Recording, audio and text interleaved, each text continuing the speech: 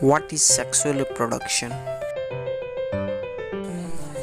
Participate in two parent produce offspring of on their own kind is called as sexual reproduction. अगर अच्छा लगे तो like कीजिए